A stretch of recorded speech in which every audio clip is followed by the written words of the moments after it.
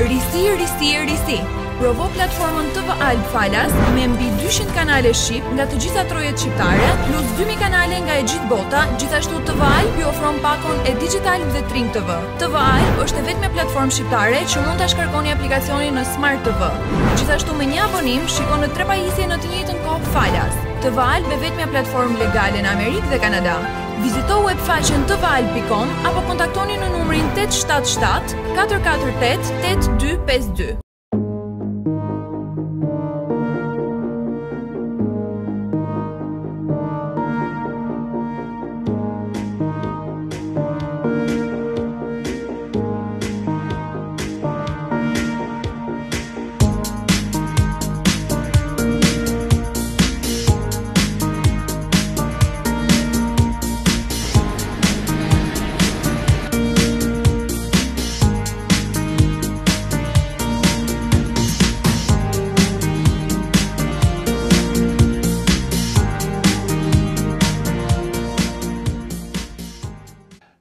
Përshëndetje dhe mirë se vini me Noli Show, Noli TV këtu në Shtetet e Bashkuara të Amerikës, në kanalin 39 në TV Alb, kurse shikohet edhe në njëmi TV,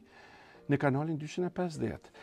Si gjithmonë, çdo të diele është një gjë e bukur kur prezentojmë pjesëtarë të artit, njerëz punëtorë, njerëz që e duen punën. E sot dhe kam da, në kase, kam da një personalitet që është politikolog. Wow,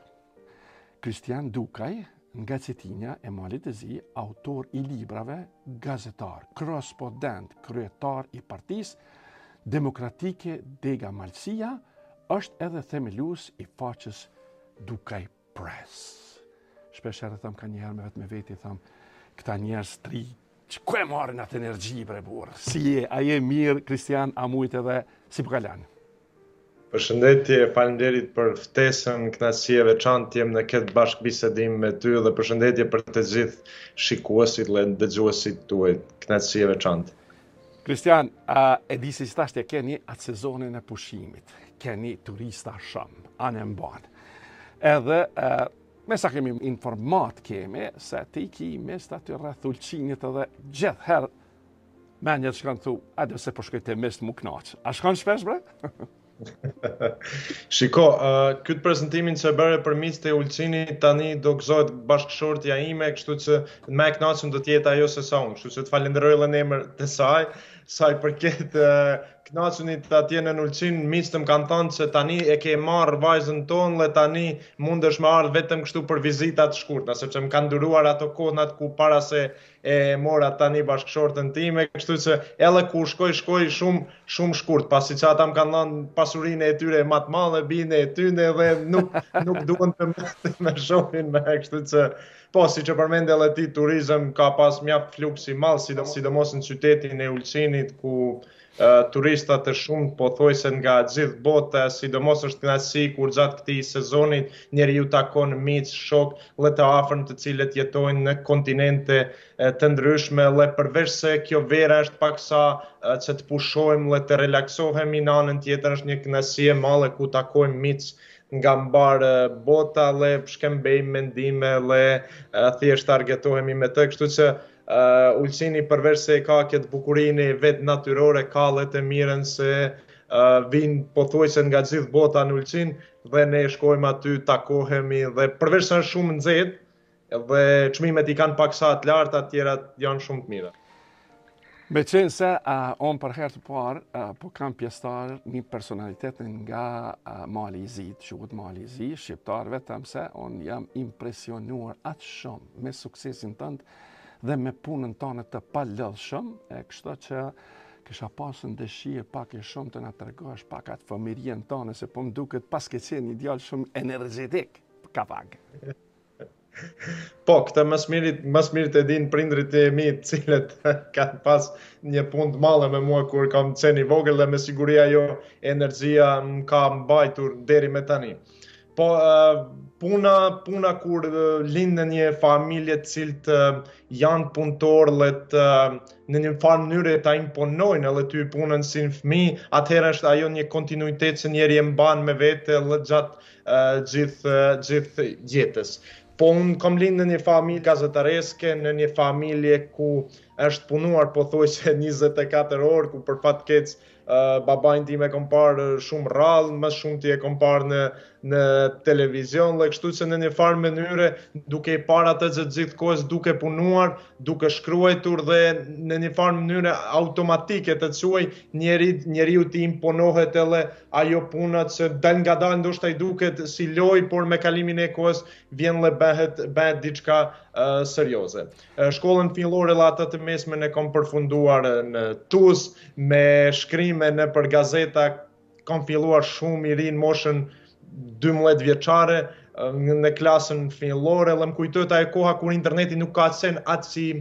ta themi modern dhe rrjetet sociale nuk kanë qenë aq të avancuara këtu tek ne më kujtohet ai shkrimi i parë në gazetën shqip këtu në Mal të Zi Koha Javore isha vetëm 12-13 vjeç mos gaboj dhe më dukej shumë interesant fakti që mësuesit të cilët më jepnin mësim kishin blerë atë gazetën dhe kishin lexuar një shkrim timin dhe më dukej, më dukej vetja shumë, unë u ndjeja shumë mirë që nën shkrim shkruhej emri im dhe u ndjeja shumë i shumë i kënaqur dhe shumë krenar. Më duket ka qenë interesante se në vend se të bleja diçka për të ngrënë, unë shkova me ato pare të vogla që kisha dhe bleva lunë gazetën që ta dërgoj në shtëpi dhe ta shohin prindërit e mi se çfarë arritje të madhe paskam bërë unë, kështu që ato janë disa momente, momente interesante nga, nga ajo shkolla fillore. Po them, ka qenë shumë interesante sepse nuk kemi pasur rrjete uh, sociale dhe në atë kohë uh, kjo dalje në një gazetë apo emri im në një uh, dikund ka qenë shumë interesante jo vetëm për mua, por më shumë ka qenë interesante edhe për shoqërinë dhe për rrethin tim, sepse sot është shumë më e lehtë dominimi në portale, gazeta, të jep njeriu mendimin e vet nëpër televizione e kështu me radhë, ndërsa në atë kohë për ne ka qenë ka qenë shumë më më e vështirë. Kur kam hyrë në në gjimnaz, kam vazhduar të të merrem me me shkrime, kam hyrë atëherë në pjesën e adoleshencës ku fillojnë edhe poezitë, ato shkrime ndoshta edhe më të më të bukura. Ka qenë një kohë shumë interesante këtu në në Tuz, atje në gjimnaz. Uh, nuk kemi pasur shumë të themi djem të cilët merreshin me poezi, pasi që poezia ka qenë edhe në një farë mënyre edhe temë tabu për për djemtë, sepse dukej diçka e butë nuk ishte për për këta djem që janë pak më të fortë, nuk ishte poezia uh, pjesë e jetës e tyre, kështu që ka qenë edhe një periudhë interesante dhe ndoshta kulminacioni i poezisë për mua në gjimnaz ka qenë kur kam uh, arritur ta fitoj çmimin Filolet në një garë që ka qenë në, në Zvicër dhe për mua aty ka qenë ta them ai kulmi i suksesit që thashë, ok, tani unë e përfundova me poezi dhe më mirë se kaq, kaq nuk mundet. Kështu që kjo periudhë e fëminisë dhe në gjimnaz ka qenë shumë interesante, dhe gjatë gjithë kohës duhet të veçoj, ndoshta e imponuar pikërisht nga familja e cila ka qenë pjesë e një gazetarie, e cila është marrë me shkrime, dhe me siguri unë edhe sot nuk ua fali që në një mënyrë indirekte ma kanë imponuar këtë shkrimin dhe këto aktivitete. Atëherë do të ndalim dhe ne e përdorim një fjalë popullore thojna molla pik nën mollë. Tash ti ajo molla e bukur je, po kem qef ta dim për atë mollën tjetër, për prindin tand. Kush është edhe çka ka ba prindi yt? Ah, po ndoshta kjo kjo kjo molla nën mollë nën nën mollë bie, po nuk e di sa e mirë, sa e mirë kjo, por nejse unë kur u rrita atëherë u shkëputa nga kjo molla mora mora drejtim tjetër, po prapë se prapë kjo dashuria e parë nuk nuk nuk mund të ta, ta distancoj komplet nga vetja. Babai im si gazetar në radio-televizionin e Malit të Zi, ka punuar nëpër mediat lokale dhe në radio Evropën e Lirë, ka qenë me ata gazetarët të parë këtu në, në Mal të Zi shqiptarë që është munduar të themi të bëjë diçka ndryshe, pasi që gazetaria në gjuhën shqipe ka qenë paksa paksa më lodhur dhe me filma dokumentar të ndryshëm, shem, por ajo koha kur është marrë me gazetarinë, shumë më e vështirë, dhe siç e dini edhe ju vetë, ka kërkuar shumë më shumë punë, sepse ka qenë shumë më e vështirë të vijë tek një informacion, tek një raport, apo tek një material që i duhej, i duhej për punë, kështu që angazhimi ka qenë pothuajse gjatë gjithë kohës vetëm kur vinte në shtëpi për të për të pushuar, ose më mirë themi për të fjetur, po ne atëherë ishim në gjumë kur ai mbërrinte në shtëpi. Besoj se këtë pjesën më së miri do e dinte nëna nëna ime ta ta ta sa. Atëherë për publikun për publikun kisha pas dëshirë ta ta dim se emrin edhe mbiemrin si e ka babi. Uh, babai im quhet Gjokë Dukaj, ndërsa nëna ime Gjyste, që i bie që kanë qenë në dashuri të madhe Gjokë dhe Gjyste. Kështu që unë quhem Kristian, gruaja ime është Kristina, imagjinoje, edhe këta ma kanë imponuar, edhe emrin. Kështu që shkurt ta ta ta mbledh në një në një në fjali jam rritur në një familje malësore të thjeshtë si të gjithë moshatarët e mi, vetëm se problematike ka qenë kjo puna e imponuar, dhe falënderues për gjithçka i takon nënës sime e cila ka nejtë me mua në shpi më shumë se sa se sa babai. Por tani më duket se babai u kthye dhe ai në shpi sepse tani është plakur dhe s'mundet as të punojë sa përpara. A pse je djalë i mirë dhe i sinqertë t'a kanë besu punën edhe kur ke filluar si këshilltar në komunën e Tuzit. Wow. Kjo një një fenomen i madh kjo. Po, punën në komunën e Tuzit në vitin 2019, sepse mbas shkollës së mesme, gjimnazit, unë vazhdova studimet për diplomaci në Podgoricë, tri vite në Podgoricë, dhe mbas diplomimit në Podgoricë, unë vazhdova në Sarajevë, në Bosnje dhe Hercegovinë, për magistraturin i njëjti drejtim marrëdhëniet ndërkombëtare dhe diplomaci. Mbas kthimit, kjo është periudha ku unë, unë i afrohem më shumë politikës dhe filloj të distancohem nga këto shkrimet gazetareske, poezia dhe arti, është koha kur afrohem më shumë nga politika pasi që edhe studimet e bëjnë të veten, dhe nga kthimi nga Sarajeva, uh, unë kyçem si këshilltar për marrëdhënie me opinion në komunën e Tuzit, dhe është e hera e parë kur shqiptarët e marrin në dorë udhëheqësinë komunën e Tuzit. Ka qenë një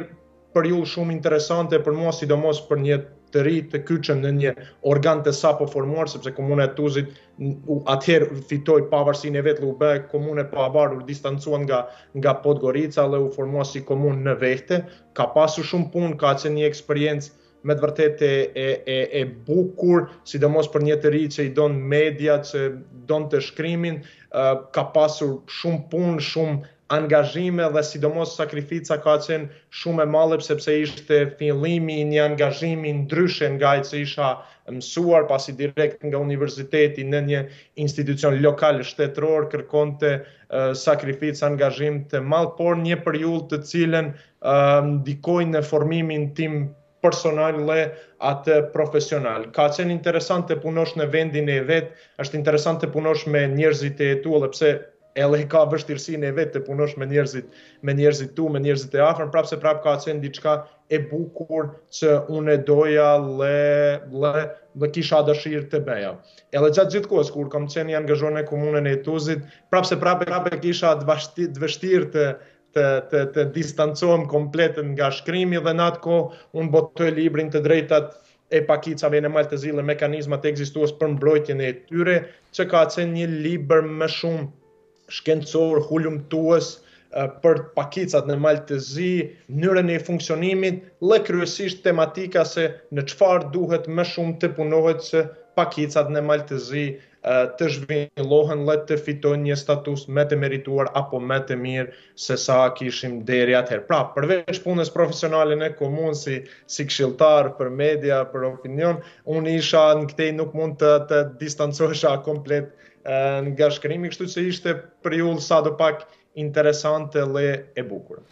Si është ai bashkëpunimi mes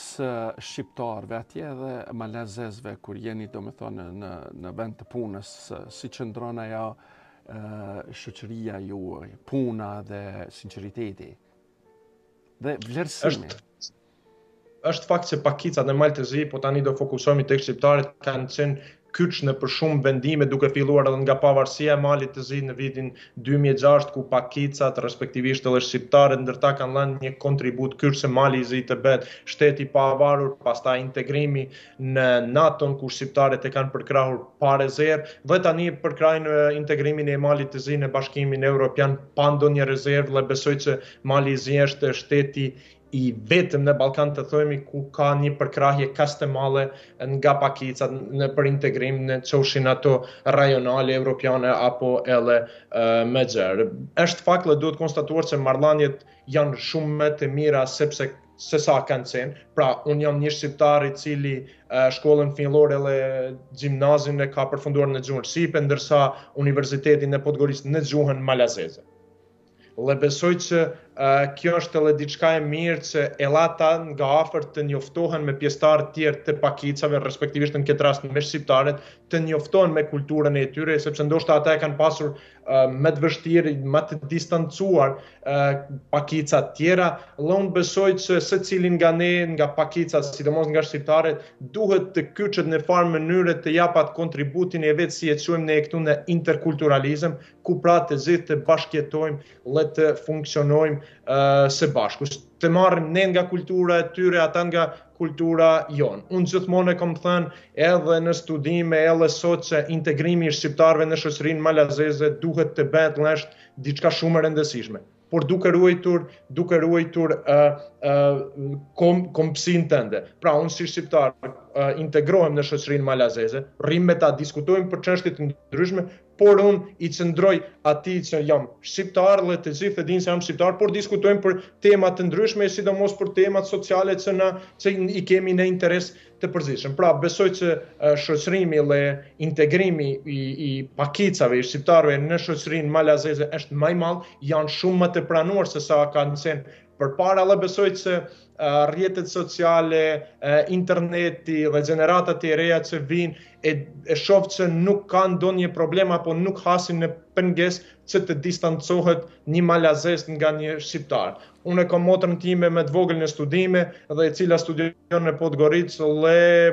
çdo ditë diskutoj me të dhe nuk më ka biseduar asnjëherë se ka pasur ndonjë problem apo ndonjë të themi distancim nga shoqëria malazeze për arsye se kjo është shqiptare. Pra besoj se hapja e internetit e globalizimit në përgjithësi ka ndikuar që edhe ajo urrejtja ndëretnike të zbutet, dhe ta kuptojmë se interesi është i përbashkët kur jetojmë në një shtet dhe në një vend çka është për për një mjedis më të mirë dhe më më më të shoqërueshëm pasi që kjo është rruga e vetme që një shtet të jetë multifunksional edhe siç është Mali i Zi multietnik. Kështu që besoj se është shumë më e mirë se sa ë uh, ka qenë dhe besoj se gjeneratat e reja këto tabu që sot ekzistojnë, ndoshta ato mos përfilljet apo keqkuptimet e vogla që ndodhin, besoj që me gjeneratat e reja dalëngadalë zhduken dhe, si themi ne, të gjithë futen në një, në një vijë ku shoqëria ka interesin primar që të jetohet sa më mirë, sa më lehtë, dhe jo të nacionalizmi të jetë temë dominuese. Atëherë do të dalim pak dhe i kthehemi pak librit, poezive, je edhe një personalitet që ke marrë çmime vjetore për poezitë. Na trego pak, të lutem. Po, si thash në gjimnaz, kur u futa në gjimnaz, fillova me ato poezit, me ato shkrime, dhe uh, kritiki im kryesor ka qenë baba im, dhe tani, në një farë mënyre, mua më vinte mba, marrë që t'i tregoj atij poezi dhe të më jap ai kritikën e Po shiko ça bësha unë. Unë shkrosha një një poezi e merrsha dhe i thosha shiko e kam gjetur këtë poezi nga një shkrimtar shqiptar, si të duket kjo poezi. Dhe unë tani e kam kuptuar se baba im e dinte se e kam shkruar unë, dhe nuk është nga, nga ndonjë shkrimtar tjetër. Kështu që ai edhe ajo tentativa ime ka qenë e, e gabuar. Por, gjithsesi vazhduar me shkrime, thash kulminacioni për mua në poezi ka qenë në momentin kur e, kam konkurruar për çmimin Filolet që është organizuar e, në Zvicër dhe aty poezia ime është shpallur si poezia e, e vitit, ka qenë një juri profesioniste, ka pas në garë kanë qenë shqiptar nga të gjitha trojet, jo vetëm Mal të Zi, Shqipëris, Kosovë, po nga gjithë e, Evropa, dhe më ka pëlqyer shumë që ajo poezia ime e, ka arritur të shpallet si poezia e vitit në atë e konkurs dhe besoj që ai konkursi aty ka qenë edhe një motivim shtesë që unë t'i them vetes se ok, shkruan ok, domethënë nuk je mirë, nuk je as keq, por je ok, le të themi, në atë mesataren kaluese, kështu që vazhdo, vazhdo të merresh. Andër e kom pas që brenda gjimnazit të publikoj një libër, këtë nuk ia arrita, por ia arrita mbas, mbas gjimnazit publikova librin tim të parë, i cili quhet Dora e parë, është dedikim familjes, les dorës së parë që më ka mbështet në jetë si gjithë neve që familjen e kemi mbështetësin kryesor Në jetë ka qenë një publicistik me shkrimet e mia gjatë kohës së gjimnazit dhe uh, studimeve nëpër shkrime të ndryshme portale dhe, dhe gazeta mbas atij librit kam publikuar librin tim të dytë siç e përmenda të drejtat e pakicave në Mal të Zi dhe mekanizmat ekzistues ka qenë temë pak më hulumtuese, më shkencore dhe ka qenë temë e cila më vonë kam mbrojtur në në magjistraturë në në Sarajevë. Kështu që gjatë gjithë kohës siç e shef, edhe në gjimnaz, edhe gjatë studimeve, kom vazhduar me shkrime dhe në kohën kur kom menduar që jam pjekur ta, ta bëj një libër një çik më serioz, pra kjo i bie mbas martesës, sepse mbasi që jam martuar, kom e, konstatuar se tani jam në fazën e, e pjekuris, ose së paku kështu ma thot bashkëshortja tani, kom publikuar librin tim të tretë dhe besoj më të mirin deri më tani, për besëlidhjen e Malësisë, Besa përjetësisht, është libër ku përshkruhet ngjarja e besëlidhjes së Malësisë e vitit 1970, ngjarje kur është thënë stop hakmarrjes dhe vllavrasjes në këtë në këtë vend. Dhe ajo që është interesante që bën më interesant këtë libër është se aty kam fjalën e pjesëmarrësve kryesor që kanë qenë të themi që kanë pasur rolin kyç në besëlidhje dhe në, në zhvillimin e kësaj ngjarje e cila sot ne mburremi, jo vetëm ne malsorët, po e gjithë shqiptarizmi me këtë ngjarje, kështu që besoj se ky libër nuk është aq sa për mua sa e kam ba për gjeneratat tjera që do vinë pas meje të cilët do kenë mundësinë nga afër të njoftohen më shumë me këtë ngjarje dhe me atë se çfarë ka ndodhur, pasi që e kom shumë të vështirë që të, të lejohen disa gjëra të shkojnë në harresë. Edhe pse është shumë vështirë të shkohet në harresë, gjeneratat e reja, teknologjia, globalizmi ndikon që jeta të bëhet më shpejt dhe nuk arrisin që të që të njoftohen me shkuarën dhe me gjërat e bukura që i kanë bërë njerëzit, kështu që ky libër i dedikohet shumë më shumë atyre gjeneratave moshës sime dhe atyre që do vinë në në të ardhmen sesa uh, mua apo uh, kësaj kohe. Kështu që besoj se ky libër i tretë është ajo më e bukur, dhe mbi të gjitha më pëlqen titulli i librit Besa, sepse në çdo gjuhë të botës nuk mund të përkthehet, por mbet vetëm besa. Pra qoftë në gjuhë shqipe, malazeze, angleze është e vetmja fjalë në fjalorin e gjuhës shqipe që nuk përkthehet. Kështu që me këtë librin e tretë me të vërtetë jam jam krenar dhe E ndjej veten shumë mirë që kam punuar në këtë drejtim që të mbesë edhe ky shkrim. Pra po e shef edhe ti vetë se edhe pse jam i angazhuar në politikë dhe në punë, prapëseprapë ajo dashuria e imponuar që diskutuam në fillim, mbetet dhe asesi të, të distancohem nga ajo. Atëherë do të pyes edhe kam pyetje në se a, jo vetëm që ke shkruajtur libra, po edhe përkthysi disa librave nga gjuha malazeze në shqip. Çka të lidhi po. ajo, edhe aty është një lodhshmëri e madhe, ta njofsh, domethanë, një, një, një poezi ose një shkrim të një autori të huaj, edhe të këtë, ta përkthesh në gjuhën shqipe, nuk është edhe kogja lehtë. Fat keq, për fat keq, kur përmende dhe këtë pjesën e përkthimit të librave, për fat keq, Babai im si gazetar kur ka punuar në atë kohë kur ka qenë më i ri, disa kohë ka punuar edhe përkthyes në takime të ndryshme, qofshin ato shtetërore apo lokale, dhe e di se çdoherë bisedonte se sa punë e lodhshme dhe e vështirë është përkthimi, pasi që kërkon jo vetëm që të përkthehet fjalia, fjala, por duhet të kesh shumë kujdes edhe tek kuptimi. Dhe në atë kohë mendoja se sa a thua është aq e lodhshme kjo puna e përkthimit. Dhe vendosa gjatë studimeve të marr librin e rektorit të universitetit ku unë studioja, Almanaki i Mësimit, dhe përveç se më pëlqeu si libër, si ide që ishte i dedikuar studentëve, kërkova takim me të dhe biseduam se si do ishte që ky libër të përkthehet edhe në gjuhën shqipe, dhe që studentët shqiptarë, të cilët do vinë të studiojnë në këtë universitet, ta kenë më afër të njohën edhe me funksionimin e këtij universitetit pikërisht në gjuhën në gjuhën shqipe. Pra ndjehem tani që kanë kaluar mbi 10 vite, ndjehem shumë krenar që një rektor i universitetit ma besoi mua përkthimin, se unë atë kohë isha vetëm një student në vitin e dytë dhe ma besoi mua përkthimin e këtij libri shumë të rëndësishëm, jo vetëm për të si rektor, por edhe për universitet, dhe me të vërtetë mbas përkthimit të këtij Uh, libri e kuptova që përkthimi jo vetëm se është një punë e lodhshme dhe kërkon shumë punë, por mbi të gjitha dominon ajo friga e gabimit, sepse ndoshta me një përkthim të keq apo të gabuar dhe jo qëllimdashës, mund të ndryshosh komplet kuptimin e një fjalie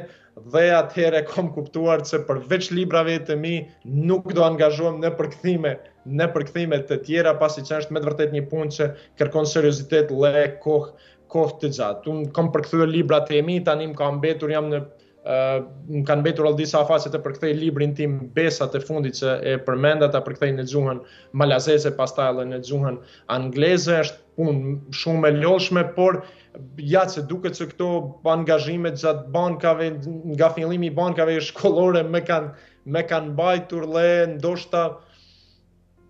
përveç se lodhin njerin ndoshta arrisin dhe ndërtojnë një një personalitet edhe pse sot merrem me komplet një çështje uh, tjetër ashtu siç e diskutuam edhe pak më parë së bashku jo me përkthime, jo me gjëra të ndryshme, po komplet në një fushë tjetër, kështu që ndoshta të gjitha këto grimcat e jetës që njeriu i kalon arrisin ta ndërtojnë një një një personalitet dhe një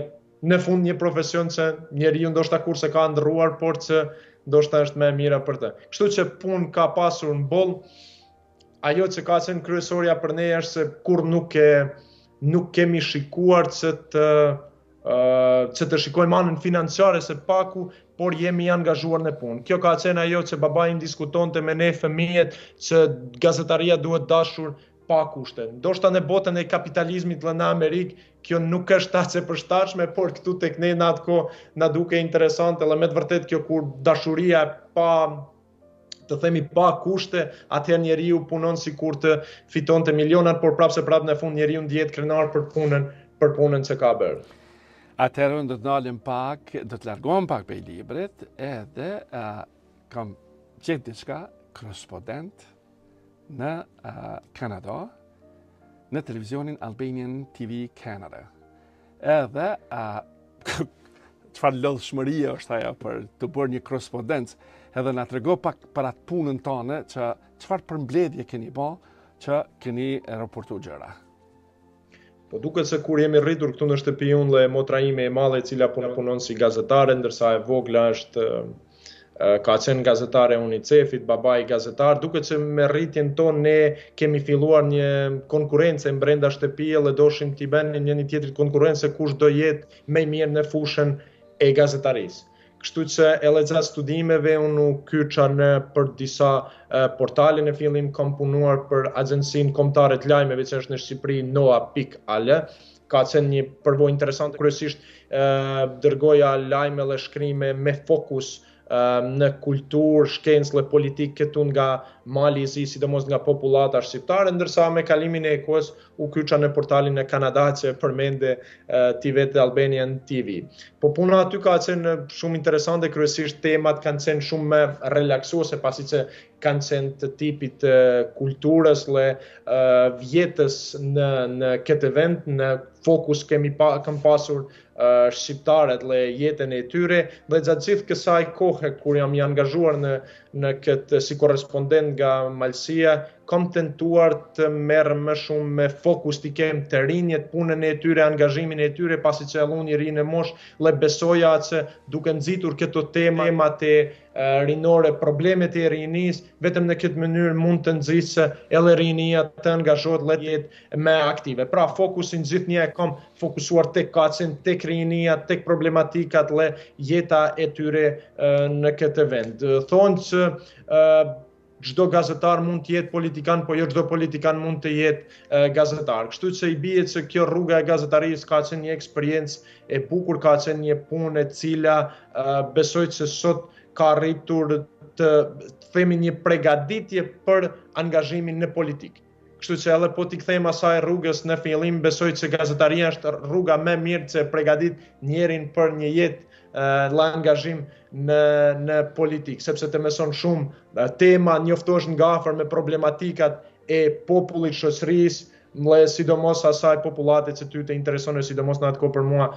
ka qenë rinia, kështu që në atë kohë përvoja si korrespondent fokusi ka qenë në rini, problemet e tyre dhe sido, sidomos tek punësimi pasi që ka qenë shumë problematik në këtë në këtë vend dhe besoj që me ato shkrimet e mia në atë kohë si korrespondent nga ky vend besoj se më shumë ti kam ndikuar tek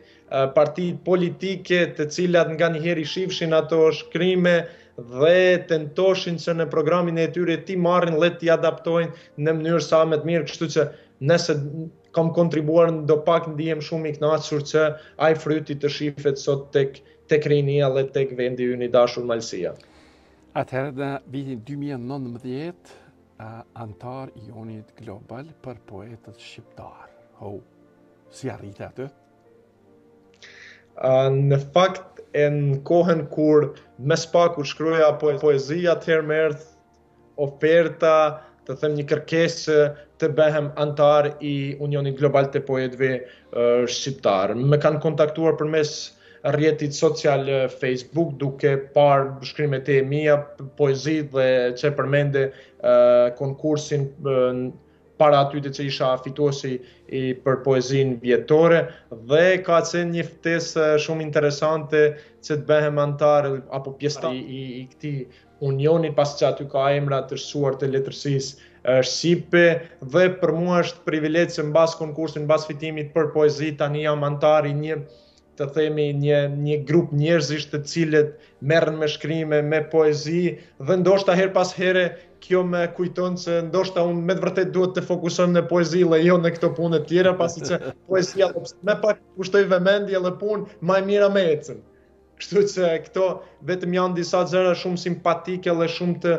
dobishme për mua pasi që ndjehem kur dikush vlerëson një shkrim tëndin apo një poezi, njeriu ndjehet shumë mirë dhe sidomos me angazhimin dhe antarësimin në këtë union global të poetëve shqiptarë, me të vërtetë ka qenë një krenari e veçantë për mua dhe një gjë që tani mendoj që për poezi është maksimumi që mund të jap dhe duket se ai fryti i para 10 viteve, 15 viteve në gjimnaz në shkollë fillore duket se ka dhënë rezultate të bukura dhe simpatike, e sidomos ndihem shumë krenar për ato poezitë e mia që nuk nuk mbetën në harresë, po së paku do jenë diku në një shoqatë të përmbledhur, edhe pse asnjëherë ato nuk u publikuan në një libër të themi, kështu që për një të ri nga një vend siç është Tuzi, Malësia, një vend shumë i vogël, besoj se Këto, këto, këto arritje të vogla janë interesante sepse u hapet dera të rinjeve të tjerë të kyçen dhe të jenë më aktivë. Atëherë, do të dalim në 2023 jeni zgjedhur kryetar i Partisë Demokratike, Dega Malësia, është themelues i faqes Dukaj Press. Wow! Çdo send që po po vjen përpara, po m'vjen dysh si ta them një fjalë, si një një dëshirë për me me e thënë, me ta bo pyetjen, kështu që të lutem na tregon. T'falënderoj shumë dhe po po kthehem te ajo e para që siç të thashë në fillim, duket se të gjitha kanë qenë të imponuara Përveç kësaj, kryetar i Partisë Demokratike kjo nuk ka qenë e imponuar, ka qenë me marrëveshje, ndërsa sa i përket faqes Dukaj Press, mbas shumë shkrimeve që bëjshim unë, motra, babai dhe vendosa të bëj hapjen e një faqe ku të gjitha shkrimet do dhe puna jonë në gazetari do grumbulloheshin në një vend për ata që kanë dëshirë apo interes të lexojnë dhe të shif, të shikojnë uh, punën tonë. Kështu që hapja e faqes Dukaj Press ka qenë vetëm më shumë të themi grumbullimi i punës sonë që do ndodhet në një vend. Kjo ka ardhur më shumë si revoltë e atyre që uh, shumë herë më kërkonin se ku ndodhet ky shkrim, e kam pas lexuar një herë tani nuk e di ku është, ça ndodhi me atë kritikë dhe atëherë vendosa të bëj një hap kët të vogël por që t'i grumbulloj të gjitha në një vend dhe të jenë të sistemuara në mënyrë që ata që i kërkojnë t'i gjejnë t'i gjejnë në një vend. Po mbas studimeve edhe gjatë studimeve për diplomaci dhe afrimit në politikë, duket që politika arriti të jetë në vendin e parë, uh, është shumë interesante se në Mal të Zi, besoj që edhe në Ballkan kemi shumë pak njerëz të cilët janë të angazhuar edhe në politikë, por edhe me shkrime. Besoj që janë shumë të rrallë ata, sidomos të rinjët që edhe shkruajnë poezi, por edhe merren me politikë. Edhe shkruajnë libra, edhe në gazetari, edhe politika, kështu që uh, besoj që Kjo, kjo jeta mes shkrimeve, librave dhe politikës është diçka interesante dhe së paku mua më ka ndihmuar të afrohem me qytetarët dhe me dhe me banorët qoftë përmes rrjeteve sociale apo në diskutime të ndryshme. Pasi që në anën tjetër kemi politikën, zgjedhjet lokale, parlamentare ku më duhet të të jem një person, një person tjetër dhe nga ana tjetër kemi shkrimin, botimin e librit për besëlidhjen e Malësisë ku tema është fokusi komplet diçka diçka tjetër nga nga politika. Prandaj unë ndihem shumë mirë sepse njerëzit e njohin Kristianin jo vetëm nga politika, por e njohin Kristianin në një fushë komplet ndryshe dhe një Kristian ashtu që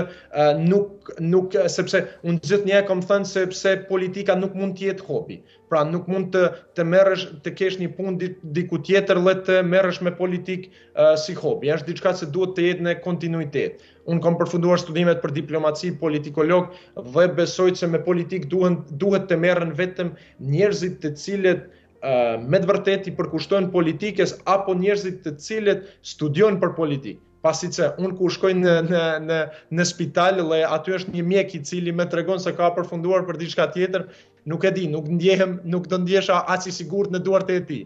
Dhe për fat keq në Ballkan politika është kthyer në një hobi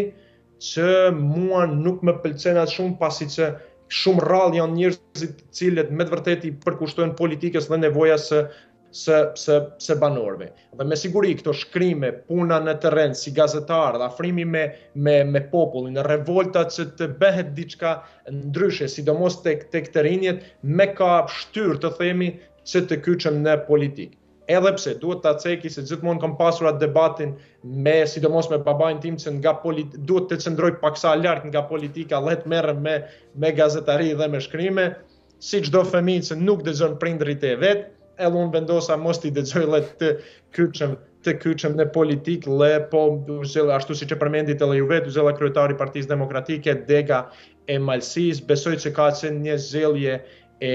duhur një hap imi i, i, i duhur në kyçjen në politikë dhe besoj që me ato që unë isho programin që kemi ndërtuar së bashku dhe mbi të gjitha ndihem shumë krenar që kam arritur së bashku të afrojmë shumë të rinj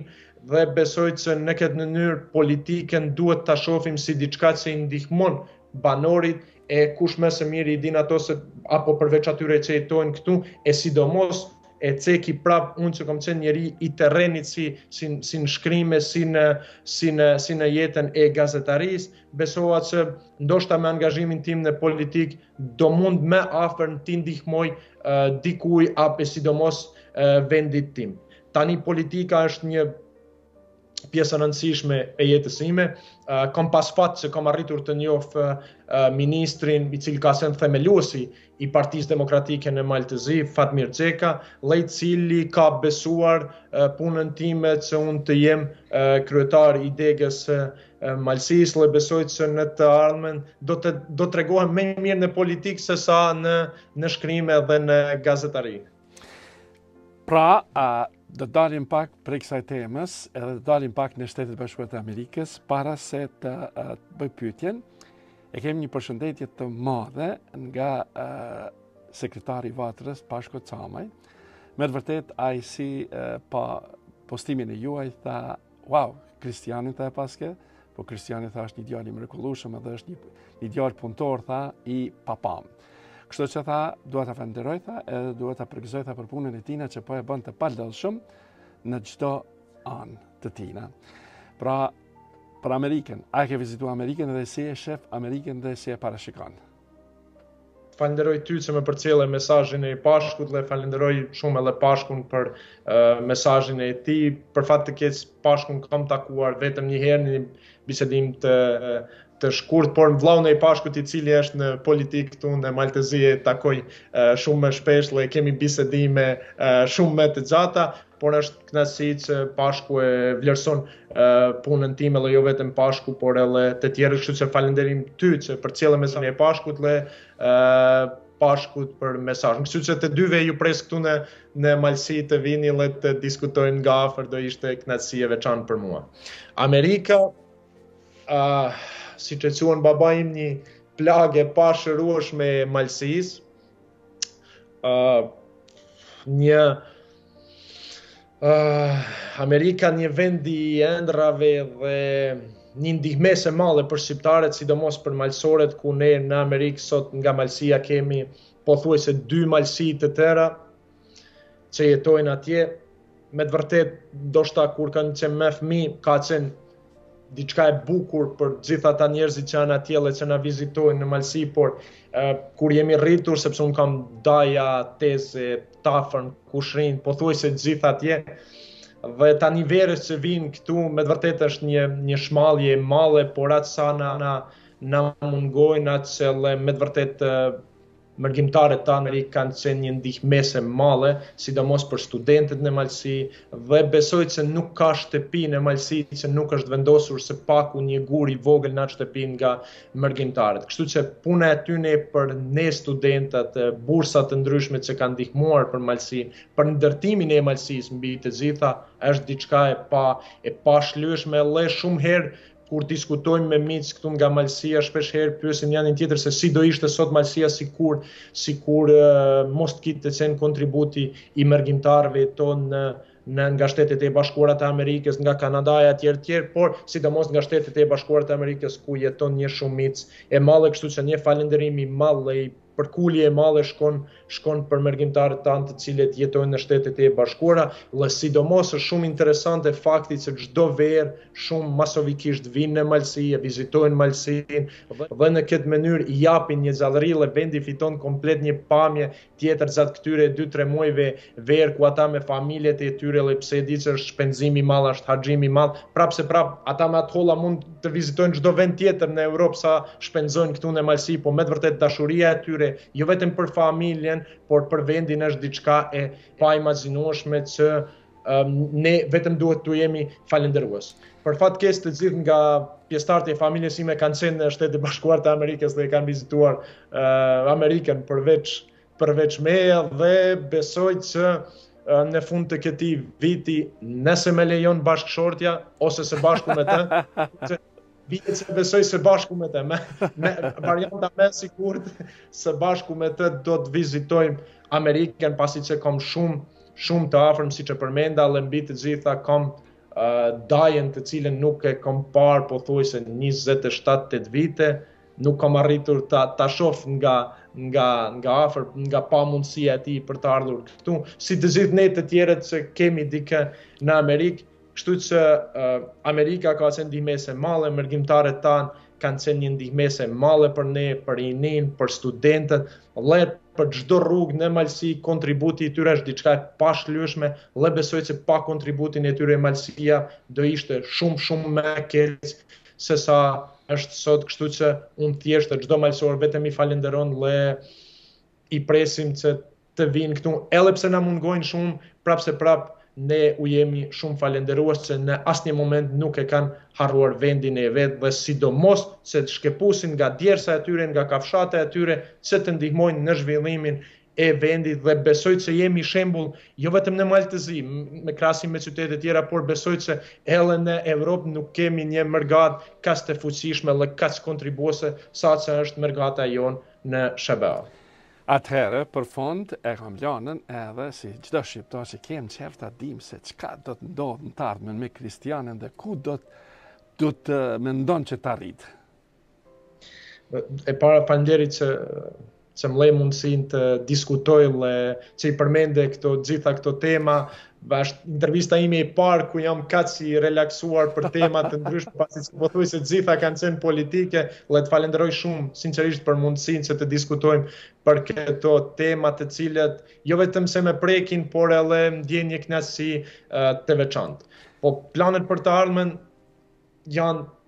të mëdha si çdo njeri, por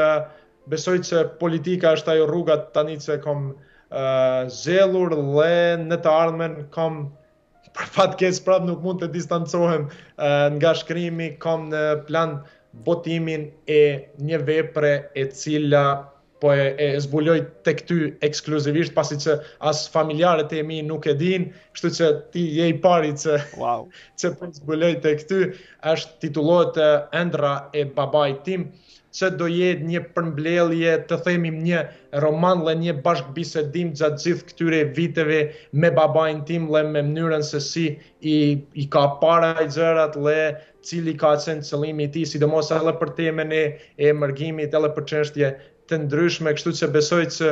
nuk do jetë libër dedikim atij, por do jetë më shumë një bashkëbisedim që edhe të tjerët ta, ta shofin se çfarë kemi uh, biseduar. Kështu që faleminderit që më le këtë mundësi të diskutoj me ty për këto Tema shumë simpatike dhe shumë të ndjeshme për mua, dhe që më distancove pak nga politika dhe u more më shumë me atë që prolloj vetëm unë kështu që faleminderit sinqerisht. S'ka gja, duhet ta falenderoj një person, një, një zonjë, eh, Helena Halilaj faleminderit shumë për, eh, do me thënë, ndarjen e një informacionit tuaj, eh, që keni bërë me shumë kohë dhe po bëni të palodhshëm.